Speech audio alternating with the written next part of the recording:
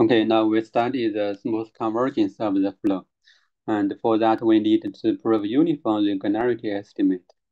And this would be guaranteed by the uniform two, uniform two-side bond on the principal curvature. Uh, because we already showed the upper bound on EK, so it is enough to prove the uniform lower bound on the principal curvature. Uh, in the second part of my talks, we already derived a time-dependent lower bound on the kappa i by applying the tensor maximum principle to the evolution of the tensor tau i gain. And, and we observed that um, if, the, if this coefficient is bounded from below uh, by a constant C, C1, then we can refine the argument uh, there and, uh, and uh, and obtained that the time derivative of the maximum uh, tau is bounded from above by a constant c and minus a constant constant c times tau. So from this, we can apply the maximum principle to show that uh, tau tau i are bounded from above. So this would imply that tau i is bounded from above by a constant c, and equivalently, and the principal curvature is bounded from below by a constant. And so the key step, so the key step is to uh, show the uniform lower bound on the EK. So in the following, we will show how to uh, derive the uniform lower bound on the EK. Uh, we first recall the idea used in um, previous work uh, recall that the work by McCoy for alpha is 1, that is for the one homogeneous flow. Uh, the idea is to obtain the curvature pinching estimate. That is how we can compare the different principal curvatures. Uh, for alpha positive and for k is 1, Sinestrari observed that the evolution of the mean curvature can be written uh, locally as a Porous medium type equation. Then the Holder estimate by Di Benedetto and Friedman would be used to estimate the mean curvature. And uh, here, this is the evolution of mean curvature. Uh, now, in our case, um, we need in, we need some new idea. Um, we first use the monotonicity of the isoperimetric ratio IK and the curvature measure theory and the Alexandrov reflection argument to show that MT converges to a round sphere in Hausdorff sense. And this is this is a case step. Hmm. And uh, if we already have the Hausdorff convergence, then for a sufficiently large time t, MT uh, will be Hausdorff close to a round sphere. So in this case, we can we can adapt a technique of smoothing uh, as in McCoy's work to prove the lower bound on the speed EK. Hmm. And then, as we just mentioned, we can, in, if we have the lower bound on EK, we can apply the tensor maximum principle to show the bound on the principal curvatures, and then MT convergence to smooth to a sphere smoothly. And so in the following, we will show how to uh, how to show the Hausdorff convergence of the surface to a round sphere. Uh, we so we here we first uh, estimate the uh, the EK, and we will show that the oscillation of the EK decays to zero uh, in the integral sense. Uh, we can find a sequence of times ti uh, goes to infinity uh, such that the integration over mti of the square of ek minus ek bar uh, decays to zero. Uh, here we denote ek bar as the average integral of the EK over the surface MTI. And this estimate is a consequence of the monotonicity of VK and the long time existence. Uh, because VK is decreasing in time and in time, and uh, so we can estimate the difference of Vk of omega 0 and uh, Vk of omega t uh, by this integration. And finally, we can get this is equal to this integration. And this is uh, non-positive and non-negative. And the left-hand side is bound, bounded from above, above by the constant Vk of omega 0 because we already have the long-time existence, so we can let the capital T goes to infinity and see that the see that uh, this fun function, uh, if we denote by ft, uh, this is uh, L1. And so we can um, so we can find a sequence of times ti and goes to infinity such that such that uh, this fun this function uh, goes to infinity uh, goes to zero uh, for this sequence of times tm, and this estimate will uh, be equivalent to this estimate. Okay, and then um, we need to prove um, and prove the convergence of the surface from this estimate. Uh, for that, we first recall the classic Alexandrov theorem. Suppose the surf suppose an surface is uh, an embedded smooth closed hypersurface in the Euclidean space with constant K-mean curvature. Uh, that is, Ek is a constant uh, for some K. Then the conclusion is that M is, is a round sphere. And so if we know that our surface MT converges smoothly to a limit hypersurface M infinity, then the previous estimate, this estimate uh, will imply that uh, will imply that the Ek must be constant on the limit hypersurface. Then the above Alexandrov theorem uh, implies that the limit hypersurface uh, is a round sphere. And however, we do not know the smooth convergence because this is our goal. Uh, so for that, we need to employ the curvature measure theory for convex bodies and a non-smooth version, a non-smooth version of the Alexandrov theory.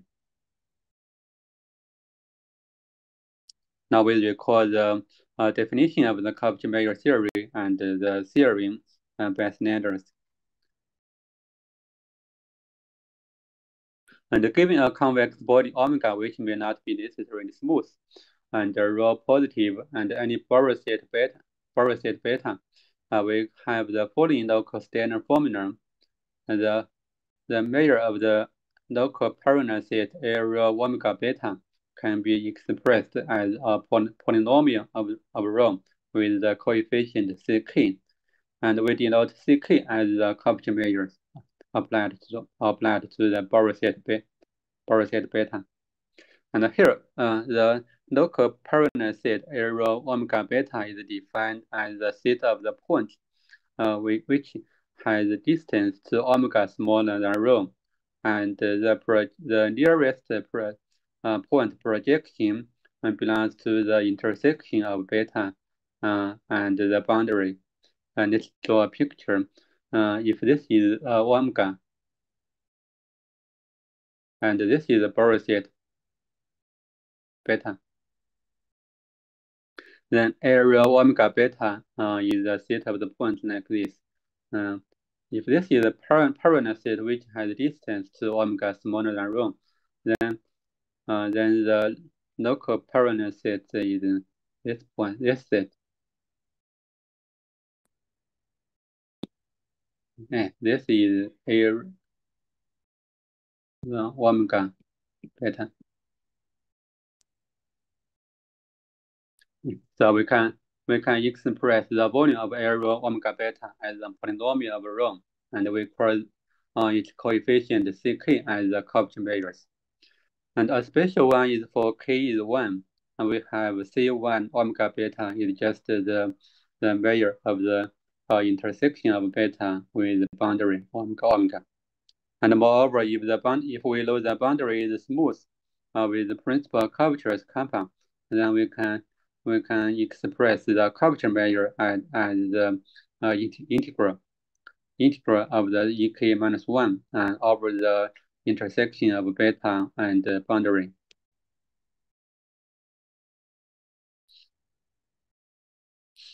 And now we now we um, record the Schneider's theorem uh, for k for k for integer k from 2 to m. Uh, if omega is a convex body uh, satisfying the uh, ck omega beta uh, equal to a constant times c1 omega beta uh, for any Borel set beta uh, and uh, some constant c, then omega must be a Euclidean ball. Uh, here we uh, we observed that if the boundary is smooth, then then the, this identity this identity will imply that um, ek minus one is a constant if the boundary is of class C2. Then by Alexandrov theorem, uh, omega must be a round one. So the, so the theorem by Schneider is a non-smooth version of the Alexandrov theorem. Because we do not need uh, the boundary of omega uh, is smooth.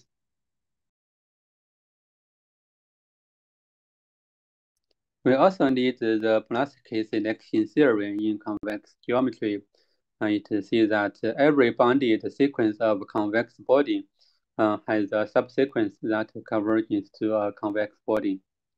In our case, the diameter of omega t is bounded from above, and the inner radius is bounded from below. So the our domain omega t are, are, bond, are bounded, are bounded and bounded convex bodies. And so uh, we apply the uh, selection theorem and conclude that there exists a subsequence of Ti, we still denoted by Ti such that omega Ti uh, converges in Hausdorff sense to a limit convex body, omega infinity.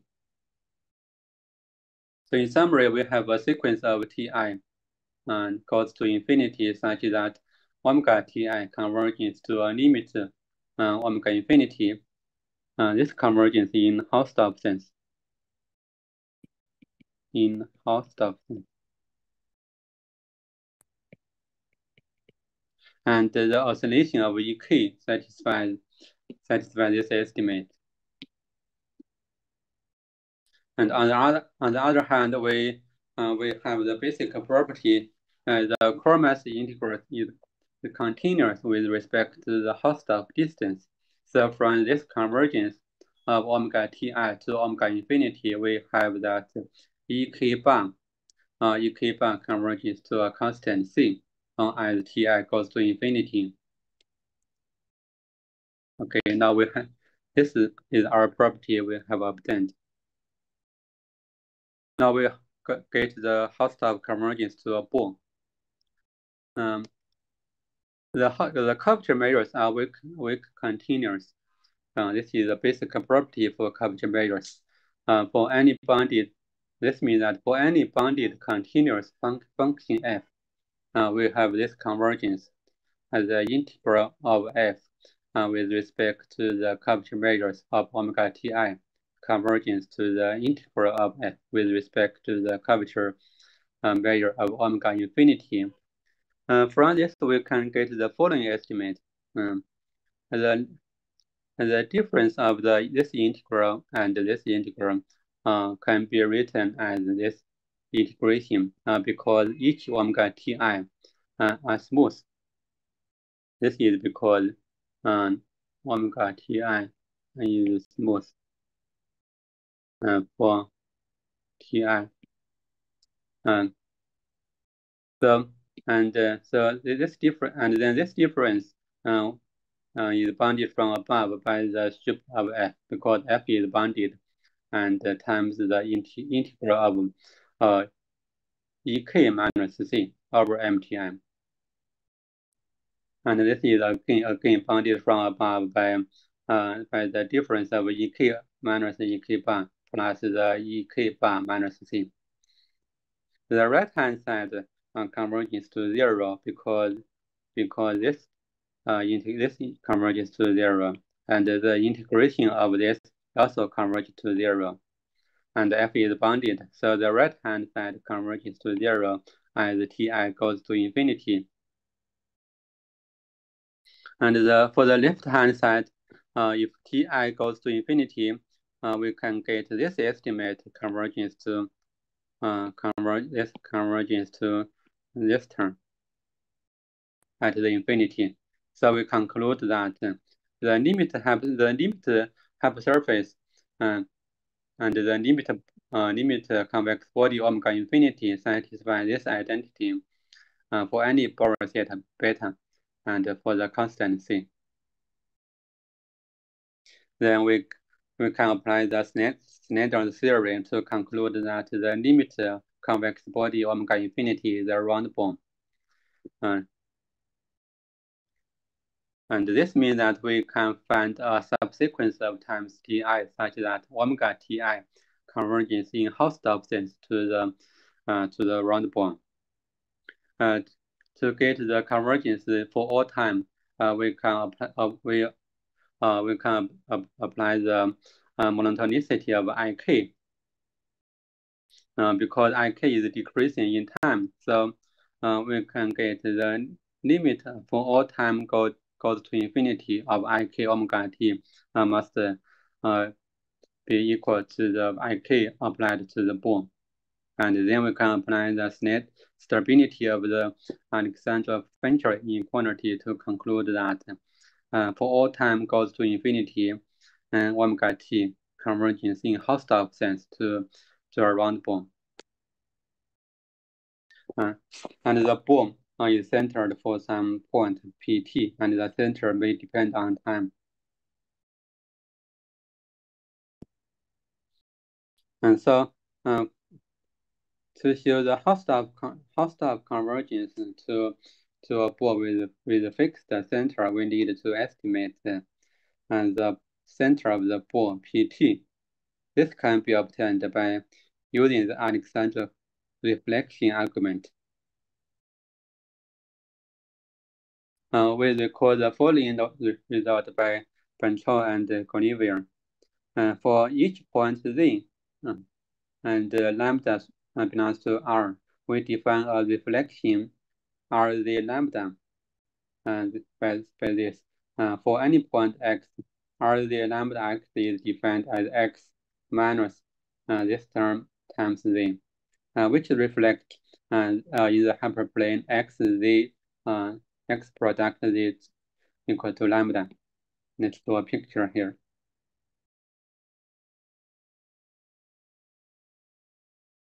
And this is the direction in z, uh, and this is uh, this is rm plus minus one, and this is the theta, the plane.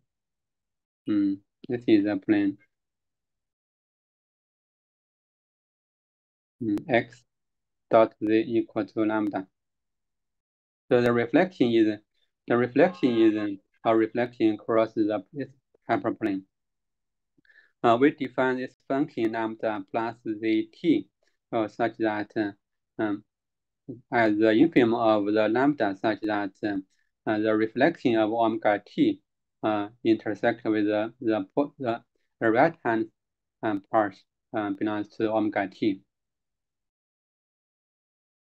And the theory improved by Ben Chow and Gulliver uh, see that um, lambda plus zt is non-increasing in time uh, for each direction z. And moreover, if we, uh, because we already showed that uh, uh, omega t is Hausdorff close to a bone, uh, a bone of radius r for some center bt. So the Hausdorff distance is smaller than some constant epsilon. Um, and from this, we can uh, we can get that lambda z lambda plus zt will be smaller than the center pt product with z plus some small constants. Mm. And this would be used to imply that pt uh, converges to a point p at time to time t goes to infinity. Um, so from this we uh, from this, we can conclude that conclude that along the flow, the enclosing domain omega t converges to a ball radius r centered at some point p uh, as time goes to infinity. So this concludes the uh, proof of the Hausdorff convergence. I think I need to um, see more words about how to uh, how to conclude the convergence of PT uh, to the point P uh, by using the monotonicity of lambda plot and this estimate. We can give a, we can um, provide a quick proof for this um, for this step. Okay, we can give a proof uh, of this. Uh, because um, because lambda plus z is bounded from above by pt. Okay, so product with z plus a constant. And we can also de define the opposite direction lambda minus zp as the minus uh, lambda plus minus zt. And so this is, is monotone increasing. This is increasing in time t. And from this we can get we can get lambda minus zt will be bounded from below by a pt product with z minus the constant. Okay, so um, so we can from this we can get that uh, for any point, any time t1 greater than t2, uh, we can have um, t t2 a product with z minus the constant is smaller than lambda z of z t2 because lambda uh, minus is increasing, so this is bounded from ab above by lambda z of z t1, and lambda z minus is smaller than uh, lambda plus z t1. And the lambda plus is uh, decreasing, so this is bounded from above by lambda z of z t2, and again bounded from above by pt to product with z plus the constant. And so from this estimate, we get that we get that the difference the difference of um, uh, PT2 product with the man with lambda plus and minus of the T1 is bounded from above by a small constant.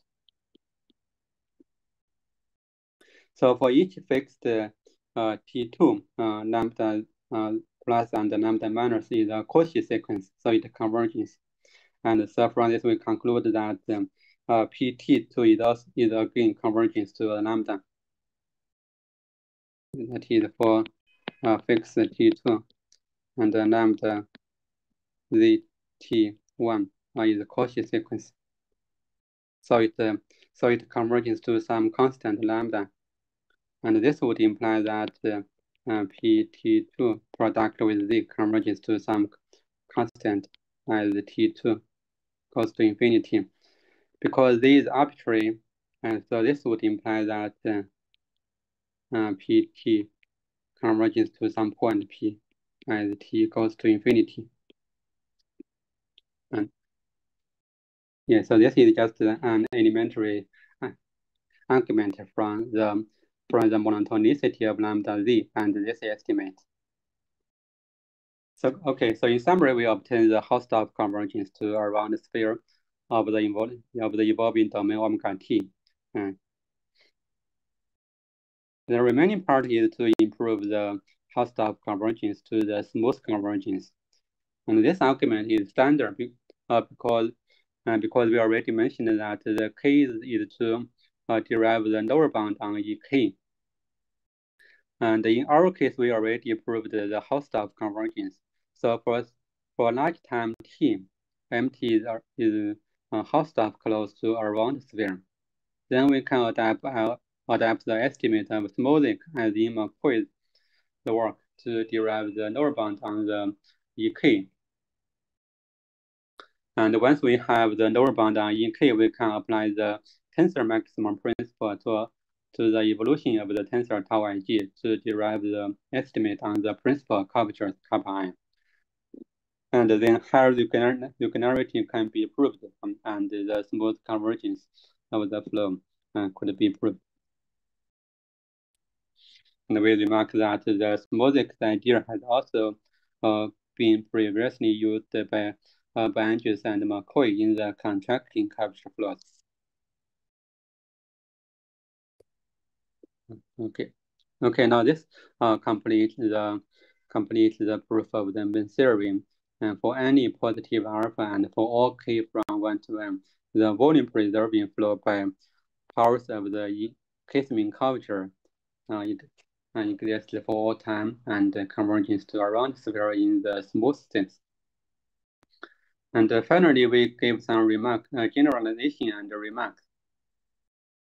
The first generalization is uh, we can generalize the, the flow to non-homogeneous speed function.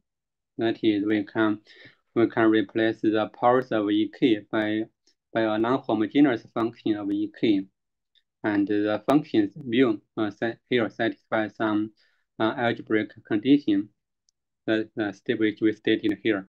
Uh, mu is smooth and increasing, and the limit of mu as z goes to zero is zero, and um, and mu z goes to infinity. And we also need to uh, need that mu satisfy this uh, convexity assumption and uh, some some further assumption on the limit. Once uh, once mu satisfy this condition, we can prove we can also proved that the volume preserving flow by this non-homogeneous flow uh, um, also exists for all time and uh, converges to a sphere. Uh, some special example for this function view include the linear, linear combination of the powers and also the log logarithmic function and also the exponential function. And this, theorem was proved by uh, Bertini and Sinestrari for, for k is 1 and by, by myself with open engines for all k from 1 to m. Another generalization is the anisotropic curvature flow, and, and this was recent. This was proved recently by uh, a joint work with Ben Andrews, uh, Yi Tao, and Changwei Xiong. And uh, we first developed the theory of the anisotropic curvature measure theory and uh, proved um, and proved a theorem which is similar with the Schneider theorem. And this was applied to uh, study the volume preserving curvature flow in the Euclidean space by anisotropic curvatures. And here we can uh, provide um, a short introduction for for the anisotropic geometry. Uh, if W is a smooth uniformly convex body uh, in R plus 1, then there exists an associated anisotropic differential geometry defined by W. Uh, because for any smooth-oriented hypersurface, uh, we can have a map, uh, W, which maps a point on the hypersurface M to, to a point of um, to the point on the W, which takes each point X to the point in W with the same oriented tangent plane. And then we can define the anisotropic curvature is the derivative of this map W, uh, which is uh, operated from the tangent space on T at the point X to the tangent space of W at the point mu WX. And by assumption, this by the definition of new W, this is equivalent to the tangent space of Tx of the M at the point X. And so this is a linear map from the from TXM to itself. And we and it, it is also self-adjoint. Then we can define the anisotropic principal curvature and the eigenvalues of this operator. And then we can obtain uh, we can study the volume preserving flow by uh, by um, by functions uh, involving the anisotropic principal curvatures.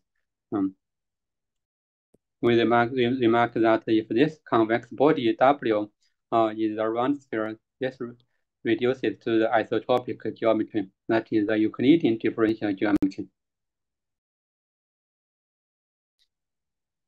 And some remark, um, our flow is, uh, is a float in the Euclidean space. And um, we can also ask the same question for the um, for the float in the hyperbolic space and in the sphere. In the hyperbolic space, there are there are many works. Uh, the first one is by Cabezas-Rivas and uh, in 2007, and later by Makowski and uh, Guofang Wang and Chao Xia in 2014, and recently by Bertini and uh, Pipoli and uh, and most of my joint work with Ben Andrews and uh, Chen Xuzhong. And we studied the long-time existence and convergence results and applied them to uh, to establish some Alexandrov-Fenchel inequality in the hyperbolic space. In the sphere case, it is more difficult because um, if the initial if initial hypersurface is convex, um, which may become non-convex along the volume preserving flow. So this is more difficult in, in the sphere case. Uh, and we also, we also need to note that uh, our flow is our flow is this uh, by, by t minus the power of ek.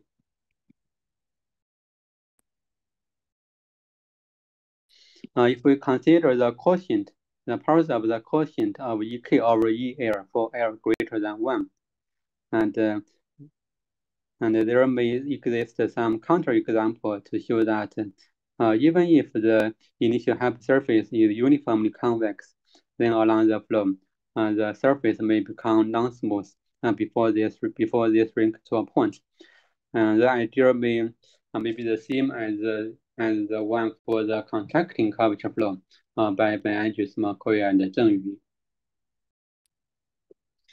Okay, I think that is the end of my talks.